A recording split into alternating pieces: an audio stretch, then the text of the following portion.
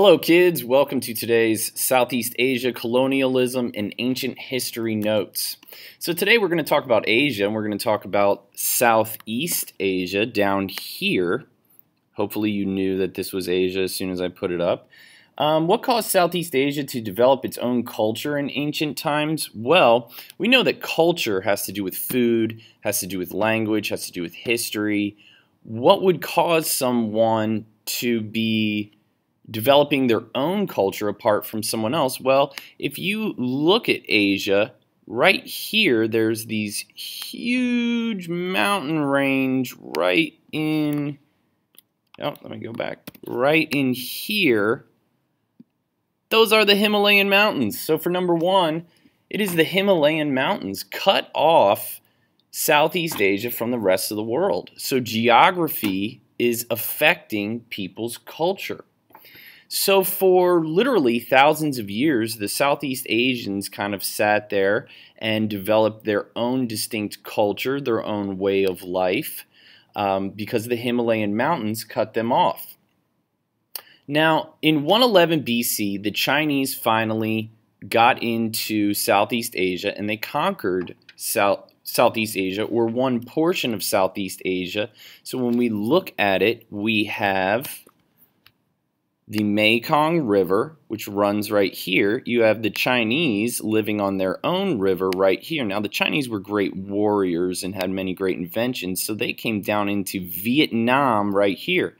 And they affected Vietnam in one or two ways. The first way that they affected Vietnam was Confucius or Confucianism.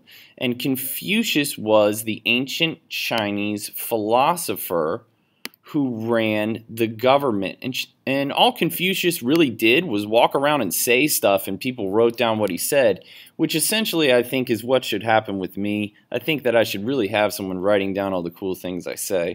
So when we look at Confucius, this is him one of the examples of things that he said was life is really simple, but we insist on making it complicated. I think he was right on. So this is Confucius. That's one way that they influenced the Vietnamese.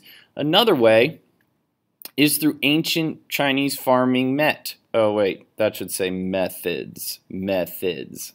Ancient Chinese farming methods. So you see one of the ways here was the plow the Chinese invented the iron plow, and the Vietnamese kind of took that on and used it as a way to plow their fields.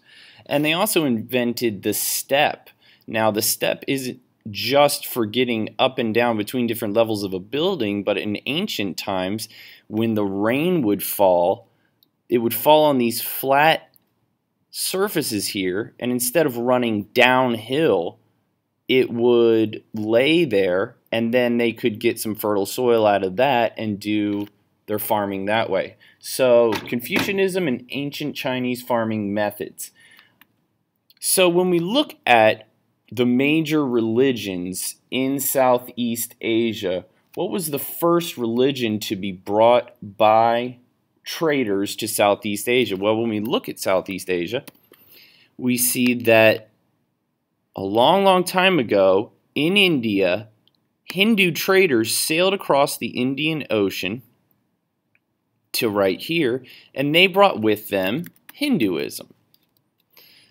So, Hinduism and later on Buddhism were the first religions to be brought to Southeast Asia. So, for number four, it is Hinduism.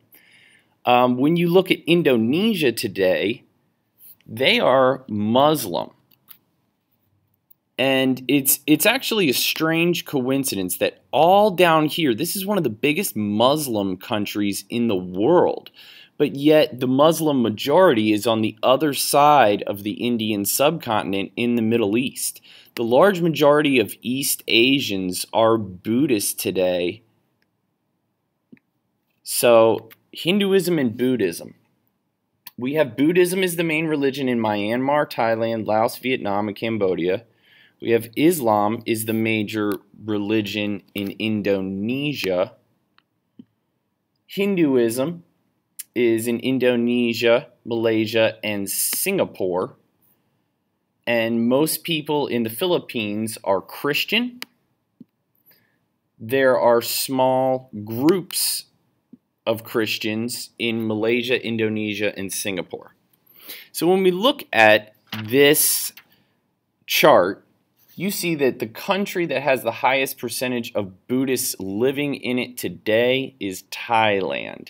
That is not Thailand, that is Thailand.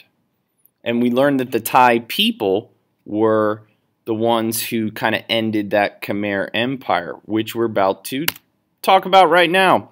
So when we look at ancient times, we just said that China up here came down and influenced the Vietnamese, who were on this side of the Mekong River. Well, along the Mekong River, the Khmer people pushed the Vietnamese and the Chinese back. They pushed this group of people back, and they got the best land along the river. The reason it was the best land along the river is because of the fertile soil. When the river floods, it leaves fertile soil. So the Khmer Empire was at its greatest from the 700s until the 1400s.